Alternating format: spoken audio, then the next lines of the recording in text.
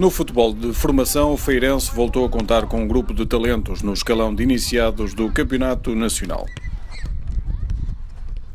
Dominou a primeira fase, mas sentiu dificuldades na fase seguinte sob o comando do professor José Carlos. Foi o primeiro ano que trabalhei o Sub-15. Eh, para mim foi um grande desafio quando o clube me convidou para, para ficar no, a trabalhar com o escalão de Sub-15, mas eh, as coisas foram, foram se construindo, umas vezes com alguns recuos, outra vez com avanços demasiado acelerados, mas eh, no cômputo geral foi um trabalho que eu considero bastante positivo.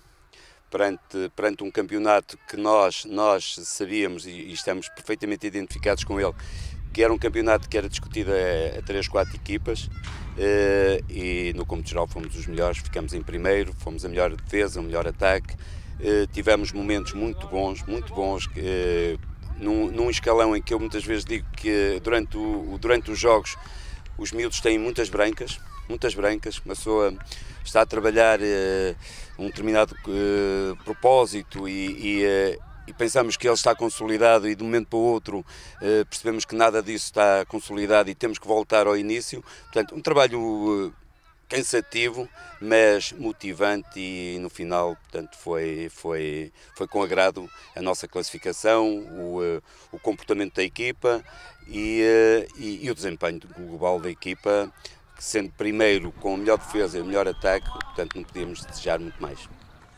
Com um passado ligado aos mais velhos, existe sempre um novo desafio: passar a mensagem aos miúdos de 15 anos. Eh, são realidades diferentes.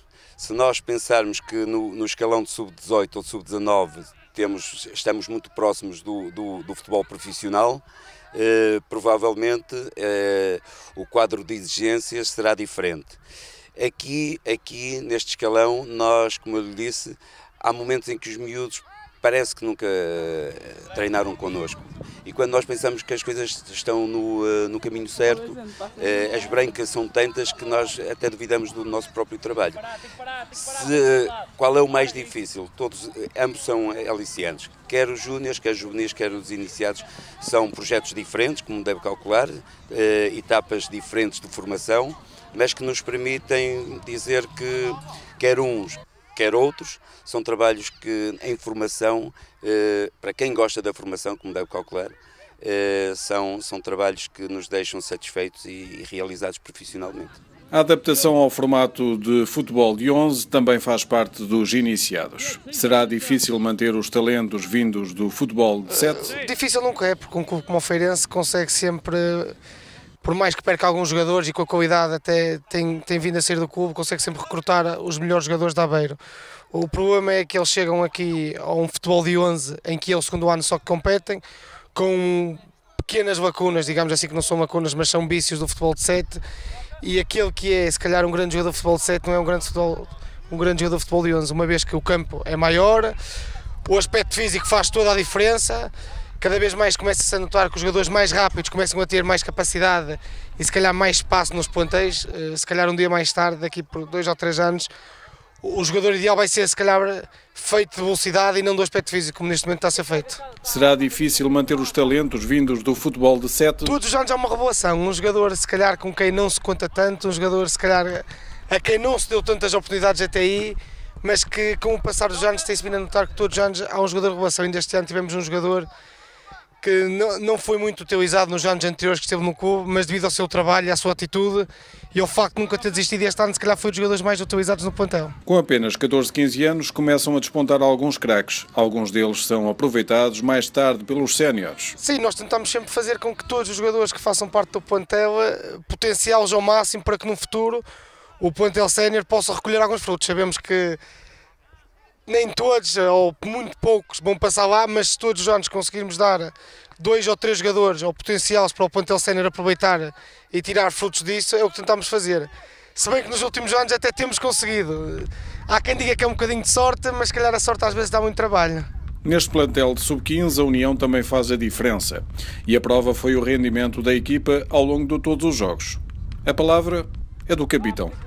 É positiva, com alguns altos e baixos mas com uma união de grupo muito forte, todos juntos, conseguimos os nossos objetivos e conseguimos surpreender com alguns pontos positivos, melhorando sempre treino a treino, jogo a jogo todos juntos e unidos.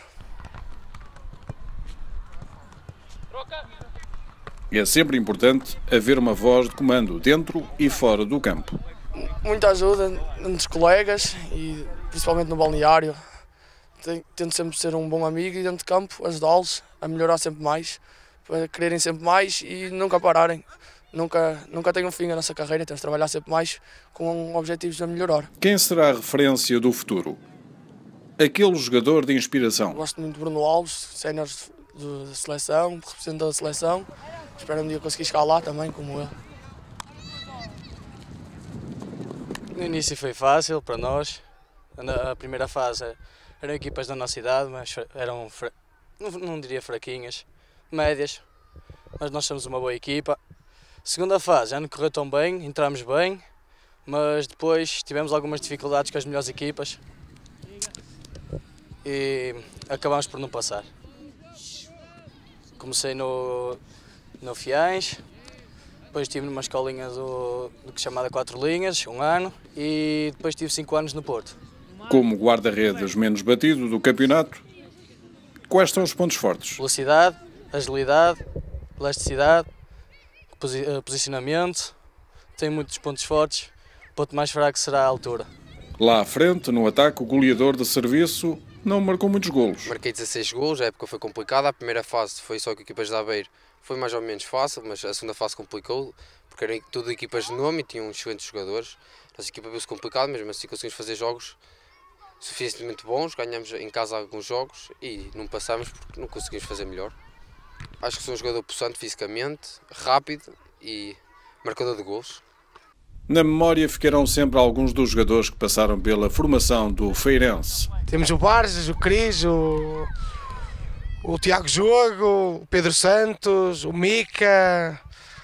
Uh, agora não me recordo todos, mas uh, eu ainda há pouco tempo fiz as contas, são 16 ou 17 que passaram cá nem todos estiveram cá há muitos anos, mas o facto é que a maior parte deles esteve cá no mínimo 3, 4 anos e antes de entrar no plantel sénior foram limados aqui na Futebol de Fundação de Feirense.